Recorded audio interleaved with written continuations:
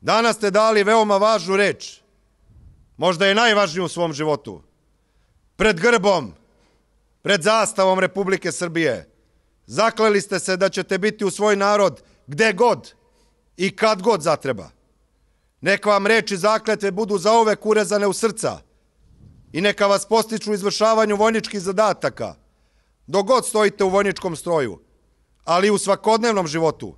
Neka vam one budu zvezda vodilja u čuvanju naše otačbine i svih njenih svetinja.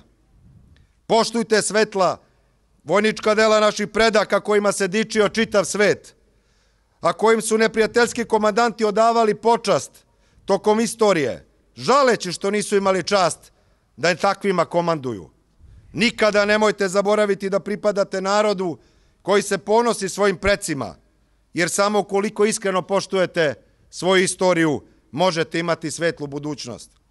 Posebno mi je drago i ponosan sam na vas, jer ste svojim izborom dali dobar, najbolji primer svim mladićima i devojkama da zavole i požele časni vojnički poziv na čemu vam iskreno čestitam.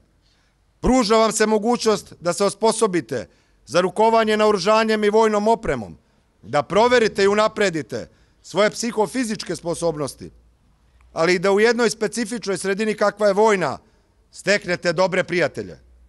Kroz proces obuke i rada u vašim jedinicama vi ćete uvidjeti sve teškoće, ali blagodeti vojničkog života i steći jedinstveno iskustvo koje će vam sigurno značiti u budućim životnim izazovima.